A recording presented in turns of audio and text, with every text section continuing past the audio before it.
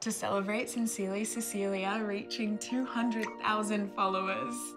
Wow. I'm giving all of my friends 50% off my new bespoke non-allergenic therapy robes. Needed this to The world needs more people like you.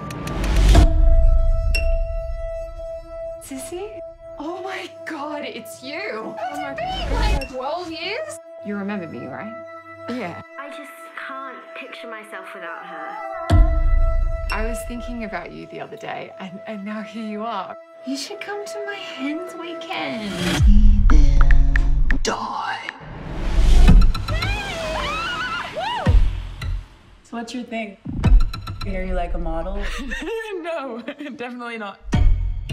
She's an influencer.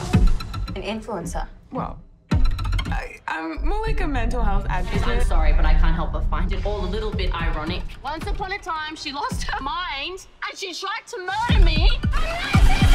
Of all people, Sissy is preaching mental health. Cecilia.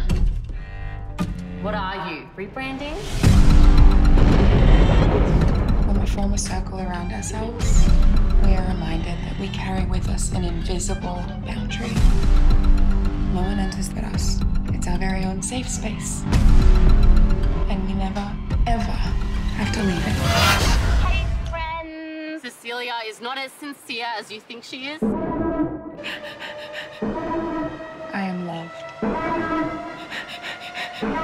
I am special.